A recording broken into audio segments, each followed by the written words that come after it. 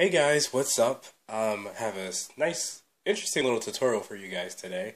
Um, I actually have this uh, quick little sketch just just as a model, just for what we're going to be doing today. But um, I wanted to say uh, thank you to all of the new subscribers because we are still getting subscribers, which is awesome. So I'm really thankful for that. But um, this tutorial, what we're going to start off with first is I'm actually going to hide this because I want to show you how we can apply something, what we're about to do. I'm going to show you how we can apply it to this drawing um, later. So real quick, this isn't going to be a very long tutorial, at least I don't think it will be, it shouldn't be.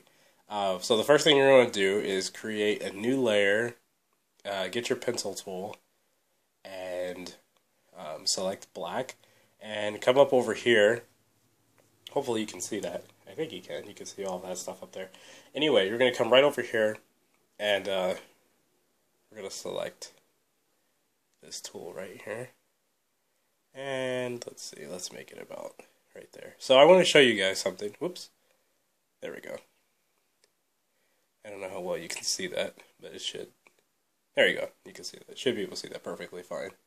Okay, what I want to do though is move it. I like to move it. okay. So we have our circle right here, and I want now what I want to do is I want to show you something that's very very important, and this helps a lot with being able to put volume into your drawings as far as making the object. Well, you guys know what volume is, but anyway, just for the sake of explaining, just um, let's see. I'm trying to think of something an example. Uh, okay, for instance, like this rock right here. Um, you can see it obviously it doesn't look flat, so it has volume to it. Like there's uh, curves and edges and all that stuff. So that's kind of what we're going to talk about right now. But we're going to start off with just this little circle. Okay, so let me create a new layer so I can draw. You you don't have to do this because I'm just doing this to um, as a demonstration. So this is going to be very simple. So let me see. Whoa, that is humongous.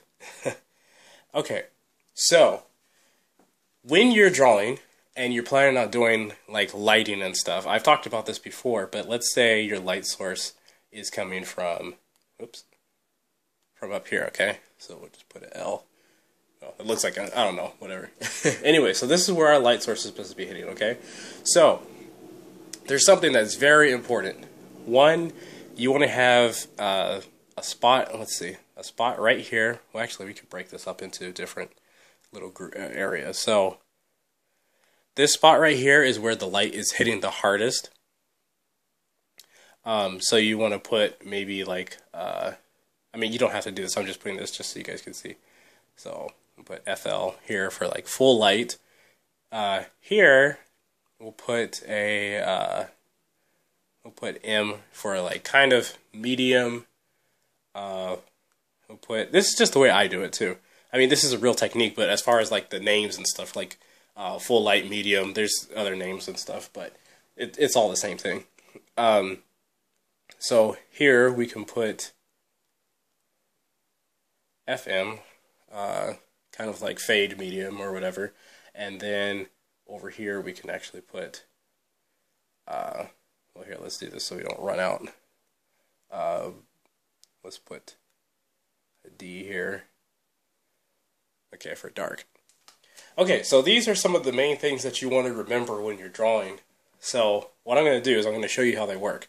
So I'm going to fade this layer, but we're going to do everything according to what was actually done.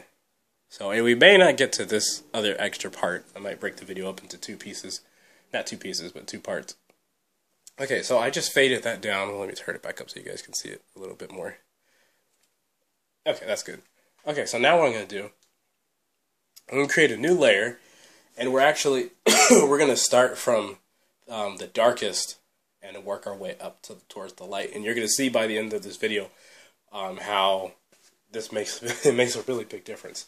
So what I'm going to do is I'm going to grab um, black, and you know what? Actually, we don't have to use black. Let's let's let's get let's get a really dark like burgundy color because I think we can make we'll make this ball red. Okay, and let me make sure I put this layer behind that one. Okay, so now what we're gonna do is, mind you, we're starting to draw on the uh, our darkest half of the circle. So all I'm gonna do, whoops, all I'm gonna do is I'm just gonna start just kind of brushing it. And don't worry, I guess, if we go out, because it's super easy to clean that up. Okay. So that's all we're going to do. Then we're going to come up over here and we're going to move our uh, our color picker. We're going to move it up a little bit brighter. I guess we don't have to adjust that.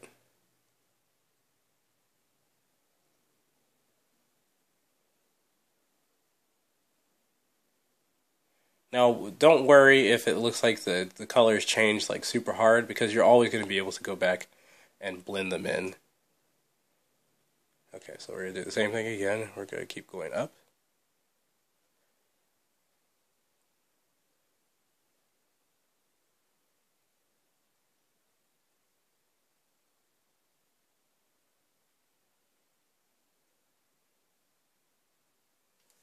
And we'll definitely, we'll We'll, we'll blend those all together, so don't worry. Okay, and we're going to go up again.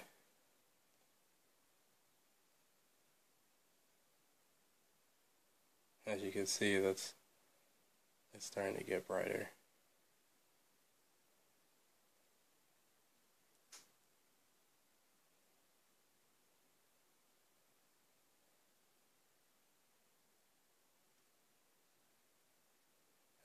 And then up one more time. Right there. And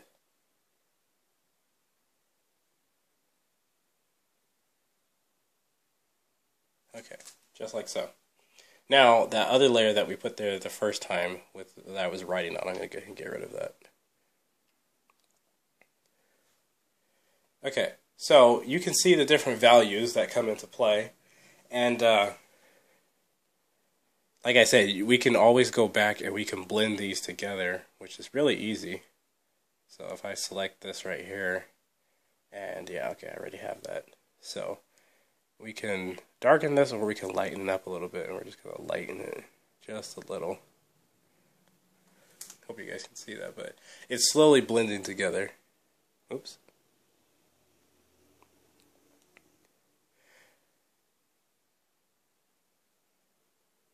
And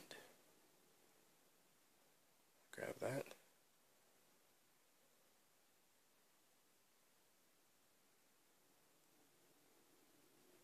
Okay, so I mean you can get it perfect if you want. I'm just kind of showing you the just kind of basic little steps about going to, or you know doing it. So there's that way you can do it, and then also too, we may have went just a tad bit. Well, here, let me see. Yeah. I kind of think this looks a little bit better. So, just blend it a little bit more. Okay, so you can see that. Like again, like I said, don't worry about all of that around there because you could easily clean that up. But now what I want to show you is something that's, well, yeah, it's important. uh, and I was drawing on the wrong layer, but oh well, it doesn't matter. We can merge those, merge those two. And now what I want to show you is, let's grab white completely, and make sure we have a new layer. Let's drop the opacity just a little bit. And we're going to put some reflection, well, almost, in just a second. We're going to put this. Remember, I said now that is, this side over here is where the light is hitting the hardest. That looks really strong to, for you guys. Uh, let me see if I can drop it down more because I don't want it to disappear. Okay, I hope you can see that. It's just this camera is just it's really fading things out, so it's hard to kind of see that. But anyway, um, so that's where the light is hitting the hardest. You know what? Maybe I should change the uh, change the background. But uh, anyway, we're going to merge that. Okay. So let's now make sure we have white again. New layer, yes. And our airbrush tool. So now what we're going to do is we're going to make a big spot to where that light is actually hitting. Like so, like right there.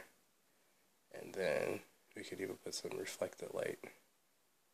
Or just a really hard, sharp, sharp corner right here. Just like so. Okay, and then we're going to merge that together.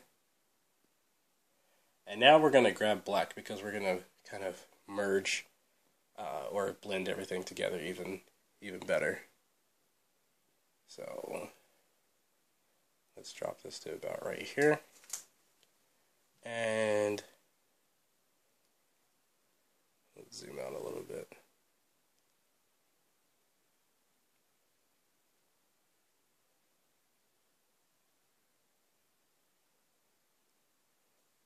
Just like so.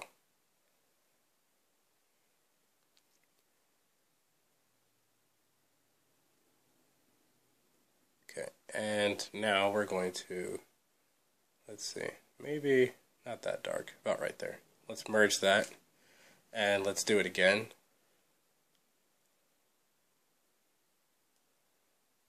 Okay. Now don't worry that this one's really dark, because I'm about to lighten it up.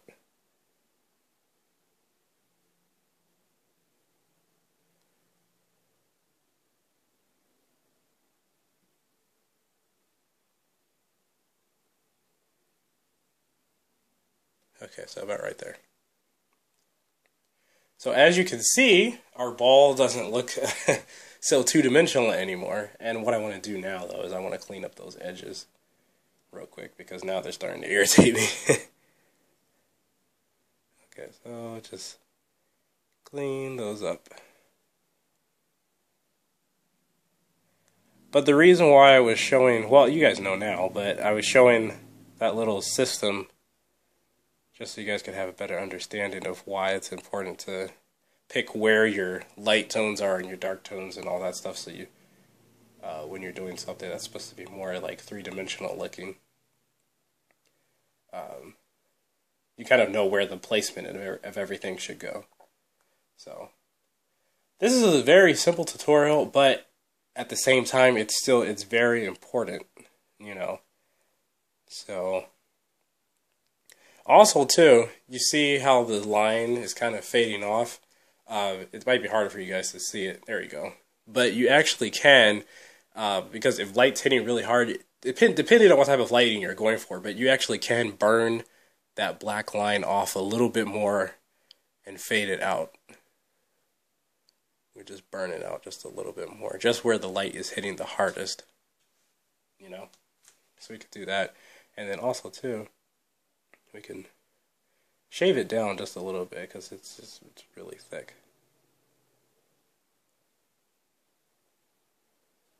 And I actually had meant to get rid of the, the line uh, originally in this in the start of this video, but I accidentally I, I told you guys I mess up sometimes, but I accidentally merged it or was drawing on the wrong layer. so, but it's okay because we could just clean it up just enough. Also, too, I, one of the tutorials that I plan on doing really soon is actually showing you guys about um, uh, is about uh, weight, like uh, the line, like the heaviness of weight, of, not the heaviness, sorry, the um, well, yeah, the, the the heaviness of lines, like showing how you can make an object look look uh, heavy based on the way you draw the lines, which is it's actually really cool the way it works. But, um, okay, so let's see. Okay, so there we go. So now we have our ball, and yeah, I really wish I hadn't merged all that together, but regardless. Anyway, the whole point of this was just so you can kind of see how colors blend. So see now this looks more like it's going around. And again, like I was saying, based on the lighting, uh, it, it depends, but based on the light, you can make this really dark, or it's kind of this is just kind of mid tone right now. So, for instance, if this was like a ball sitting on a wooden table and it had a spotlight on it, you probably would want to make this way darker than what it is. So, the last thing I'm going to do is, um, and Oh my gosh, we're at 14 minutes. um, so the last thing I want to do is we're going to just create a shadow for this ball really quick. And make sure the, um, that layer is underneath. Excuse me. Make sure that uh, our new layer is going to be underneath the ball. So now we're going to just, let's see. I probably should have made that a little bit thinner.